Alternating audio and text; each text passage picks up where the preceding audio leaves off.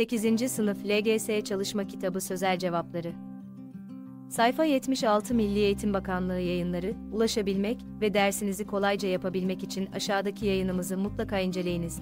8. Sınıf LGS Çalışma Kitabı Sözel Cevapları Sayfa 765. Sanatın, gerçekleri yansıtması gerektiğini söyleyen Tolstoy, sanatta önemli olan, bir takım karakterler yoluyla hikaye anlatmak değil, okuyucuya gerçekleri hatırlatmaktır, diyerek sanat eserlerinin insanlara boş şeylerle vakit kaybettirmemesi gerektiğini vurgular.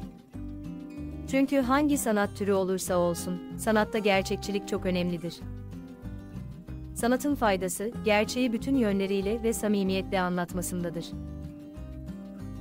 Bu yüzden sanat eserlerinde gerçekler olduğu gibi verilmelidir.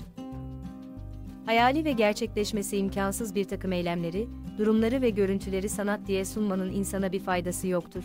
Aşağıdaki tablolardan hangisi bu sözleri söyleyen kişinin onayladığı türden bir sanat eseri değildir? Cevap C. LGS Çalışma Çalışma Kitabı 8. Sınıf Türkçe, TC İnkılap Tarihi ve Atatürkçülük, Din Kültürü ve Ahlak Bilgisi, İngilizce, sayfa 76 cevapları. Milli Eğitim Bakanlığı yayınları ile ilgili aşağıda bulunan emojileri kullanarak duygularınızı belirtebilir, aynı zamanda sosyal medyada paylaşarak bizlere katkıda bulunabilirsiniz.